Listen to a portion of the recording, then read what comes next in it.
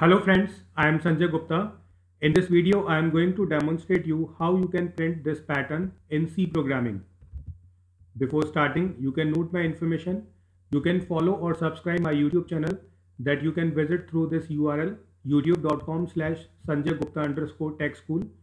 You can download my Android app that is TechImage which is available on Google Play.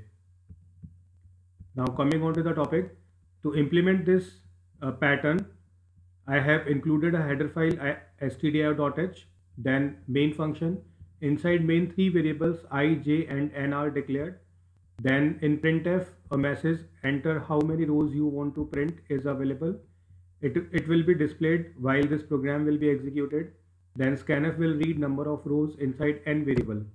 Then I am implementing first loop starting from 1 it will repeat n times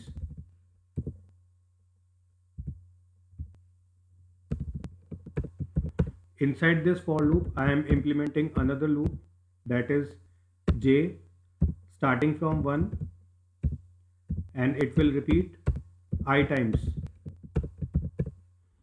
now if we see this pattern in this pattern you can notice that odd rows are printing 1 and even rows are printing 0 so in this code, I is responsible for printing row numbering.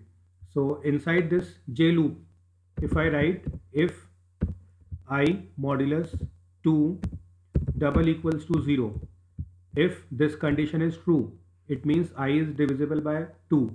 So it means I is pointing to the even row. So it will print 0 on console otherwise 1 will be printed on console and after termination of this j loop for line change I am implementing another printf with slash n. So this is the complete solution of this problem so that we can print the pattern on console. So first loop is repeating n times. When value of i is 1 this j loop will repeat one time. It will check value of i it is 1 which is not divisible by 2 so it will print 1 then new line will be printed then next time i will become 2 so j loop will repeat two times and uh, here i is 2 so 2 is divisible by 2 so 0 will be printed two times and so on. This pattern will be displayed on console. Now i am executing this code.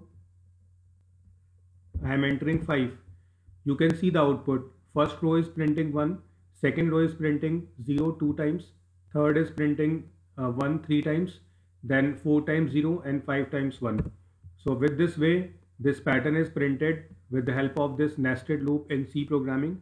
I hope you have understood how you can print this pattern with the help of this nested loop. If you want to watch more programming related videos, you can open my channel by following this URL that is youtube.com slash underscore tech school. Thank you for watching this video.